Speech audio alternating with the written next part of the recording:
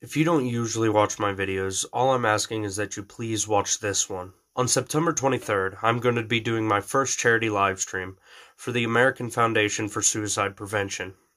As some of you probably know, this is Suicide Prevention Month, so I, I feel it's especially important with the pandemic and everything that's going on to bring attention and to help out as much as we can from the beginning, I've always wanted to have a community, not just for a safe space for people to go to have some laughs, but also so that we could do things with this community and make differences.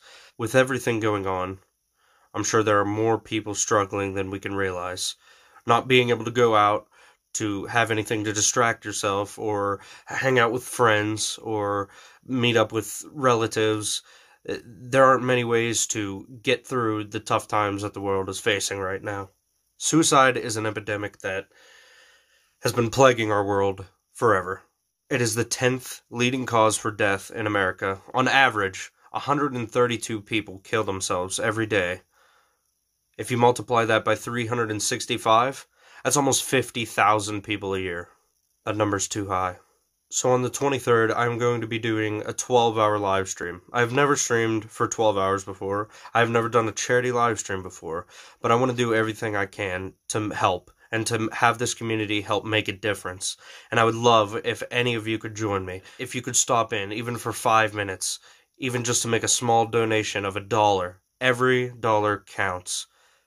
This is something extremely important that we need to bring more attention to. The goal is set for $200. I have no doubt in my mind that we can do it. But I'm going to need your help. Please, if you can give any money, please drop by the stream on the 23rd. I will leave a link in the description, and I'm going to try to push this out as much as I can. It's extremely easy to donate. I will have a link in the stream throughout the entire day. None of the money goes to me or anything else. It all goes straight to the American Foundation for Suicide Prevention. We all work very hard for our money, but there are people out there who could use our help. And if you could give anything at all, I would be extremely appreciative. I know we could do this, and I appreciate any help, any dollar, any amount that anybody can give.